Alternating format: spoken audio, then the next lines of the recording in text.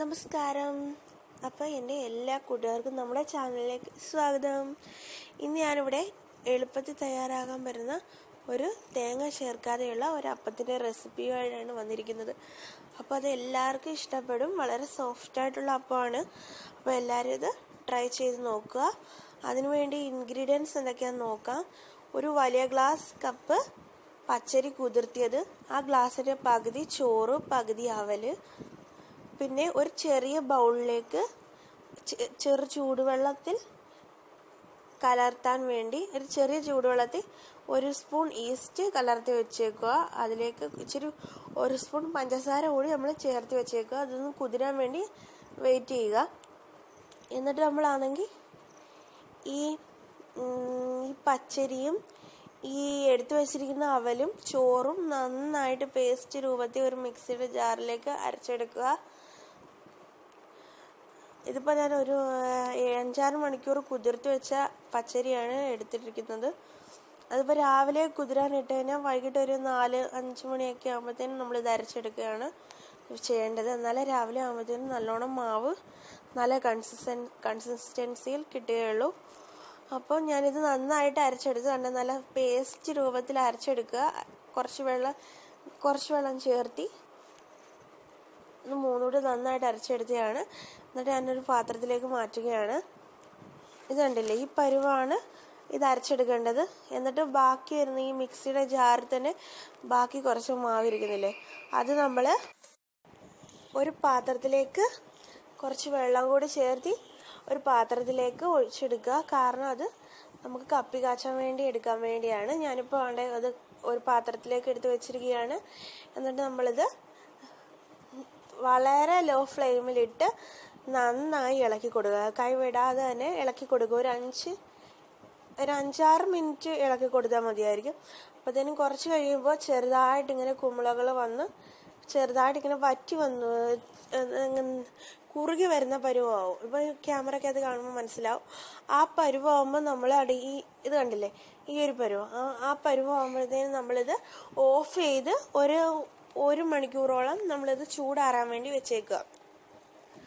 ഒരു മണിക്കൂർ കഴി കഴിയുമ്പോഴാണ് നമുക്കിത് എടുത്ത് ആ അരച്ച് വെച്ചിരിക്കുന്ന മാവിലേക്ക് നമ്മൾ ചേർക്കണ്ടേ ഇപ്പോൾ ഇത് നന്നായി ഏകദേശം ഇപ്പം ഒരു മണിക്കൂറായി വരുന്നുണ്ട്. കൂടെ തന്നെ ആണ്ടെ ആ ഈസ്റ്റും ഒന്ന് പൊങ്ങി വന്നിട്ടുണ്ട്. നന്നായിട്ട് മിക്സ് ചെയ്ത് വന്നിട്ടുണ്ട്. ഇനി നമുക്ക് ഈ മാവിലേക്ക് ഈ കപ്പി കാച്ചിയതും ആ ഈസ്റ്റും കൂടി ചേർത്തി കൊടുക്കണം. ആദ്യം നമ്മൾ ഈസ്റ്റ് ആണ് ചേർക്കേണ്ടത്. ഈ മാവിലേക്ക് ഞാൻ ആദ്യം ഈസ്റ്റ് കലക്കി ഒഴിക്കാൻ പോവുകയാണ്. ആ മുഴുവനും പഞ്ചസാര എല്ലാം കൂടെ ചേർത്തി നമ്മൾ ചുറ്റിച്ച് ഒഴിച്ചു കൊടുക്കുക. എന്നിട്ട് നമ്മൾ അതിലേക്ക് തന്നെ കപ്പി കാച്ചത് നമ്മൾ കപ്പി കാച്ചി തണുത്ത് തണുത്തിരിക്കുന്ന ആ കപ്പി കാച്ചത് കൂടി ചേർത്തി കൊടുക്കുക. എന്നിട്ട് നന്നായിട്ട് മിക്സ് ചെയ്യുക നന്നായിട്ട്.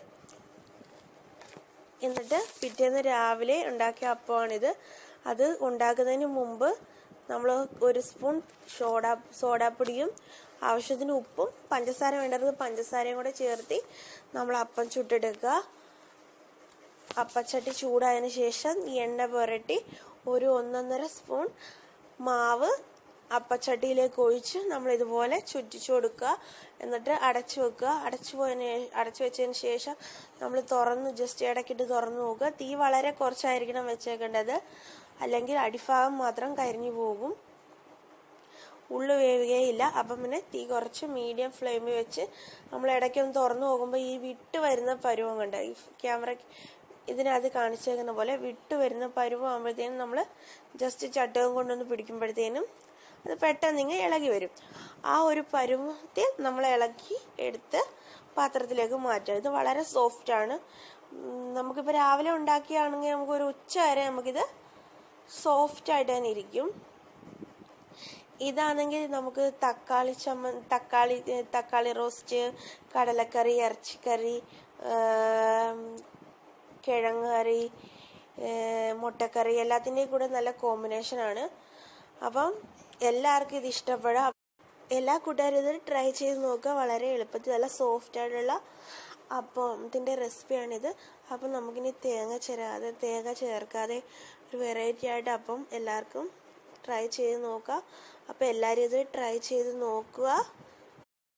എന്നിട്ട് താഴെ കമന്റ് ചെയ്യുക.